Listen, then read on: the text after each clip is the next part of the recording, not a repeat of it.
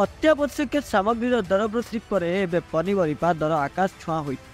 ଭବାନୀପାଟଣା ସମେତ କଳାହାଣ୍ଡି ଜିଲ୍ଲା ବିଭିନ୍ନ ବ୍ଲକରେ ଏହାର ପ୍ରଭାବ ଦେଖିବାକୁ ମିଳିଛି ଦର ବଢ଼ିବା ପରେ ଯୋଗାଣ ବିଭାଗ ତତ୍ପରତା ଦେଖାଇ ଏକ ଜରୁରୀକାଳୀନ ବୈଠକ କରିବା ସହ ଯୋଗାଣ ଅଧିକାରୀଙ୍କ ତତ୍ତ୍ୱାବଧାନରେ ଏକ ଟିମ୍ ଗଠନ କରିଥିଲେ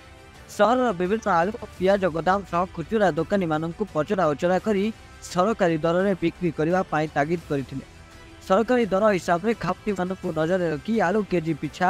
पैँतिस टा पिया केजी पिछा चालिस टङा बिक्री गर्ने दोकाी म तागिद गरिदि खिलाफ गरि चढा दर बिक्री गइनगत पुलिस दिाण अधिकारी प्रकाश गरिन्छ कि सन्धार गा भवानीपटना सहर समू मिट गराइलालु आउँठ पियाज आउँठु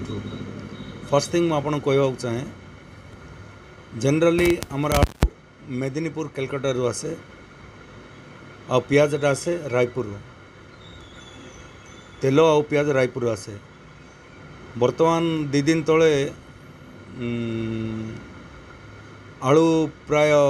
ଚାଳିଶ ଟଙ୍କା ବୟାଳିଶ ଟଙ୍କାରେ ବିକ୍ରି ହେଉଥିଲା କାଲି ଆମେ ସବୁ ବେପାରୀମାନଙ୍କୁ ଡାକିରି ଗୋଟେ ତାଗିଦ କଲୁ କଷ୍ଟିଂ କଲୁ କୋଷ୍ଟିଂ କରି ତାଙ୍କର ପ୍ରଫିଟ୍ ମାର୍ଜିନ୍ ଯେଉଁଟା ଅଛି ତାହିଁରୁ ସେମାନେ କିଛି ଖାଉଟିଙ୍କ ପ୍ରତି ସମର୍ପଣ କରି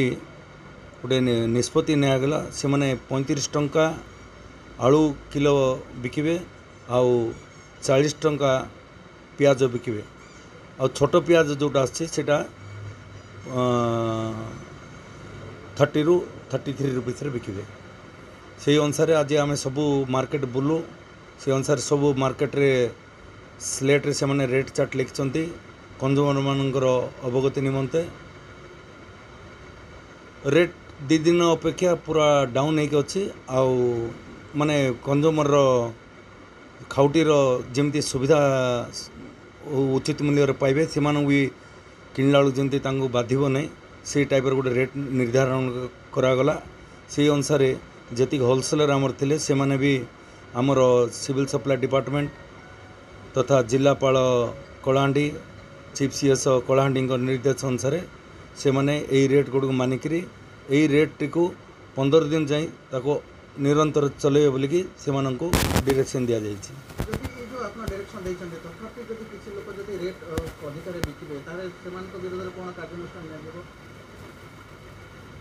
ସେମାନଙ୍କ ଦେଖନ୍ତୁ ଏଇଟା ଗୋଟେ ହେଲା